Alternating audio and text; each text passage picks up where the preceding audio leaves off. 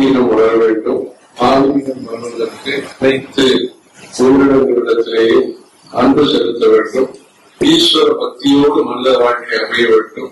நல்ல சிந்தனையோடு தினமும் ஆரம்பிக்க வேண்டும். நல்லபடி சுப்பிரபாந்தம் என்பது காலையிலே நல்ல சிந்தனையோடு நம்முடைய பணிகளை ஆரம்பிக்கிறோம்.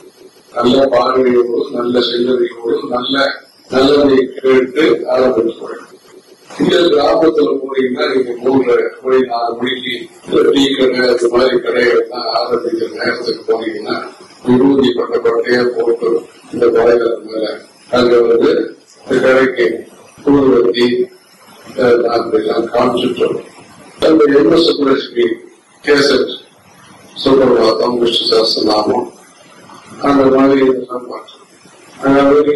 நிறைய பேர் வந்து போனாங்க ரெண்டு மூணு நாலு பேர் தான் இருப்பாங்க. அஞ்சு மணிக்கு மேல தான் ஒருத்தவங்க வருவாங்க பட் யாத்திரையில எங்கேயா போகும்போது பார்த்தா இது மாதிரி. அதாவது ஈஸ்வர பக்தியோடு நம்முடைய தினச்சரியை தினசரி வாழ்க்கை ஈஸ்வர பக்தியோடு ஈஸ்வர ஸ்மரணத்தோடு ஆரம்பிக்க வேண்டும். நல்ல சப்தத்தை கேட்க வேண்டும் நல்ல ரூபத்தை பார்க்க வேண்டும். நல்ல பக்தியோடு அன்றாட பணிகளை நாம் ஆரம்பித்தால் ராத்திரி வரையிலே அந்த தினமானது நல்ல முறையிலே அமையும் என்பது நம்முடைய சமய நம்பிக்கை அதே போன்று சுவாசனைகளை பார்ப்பது பசுமாட்டை தரிசனம் செய்து காலையில பசுமாட்டு தரிசனம் செய்து ஹரஹர சங்கர ஜெய ஜெய சங்கர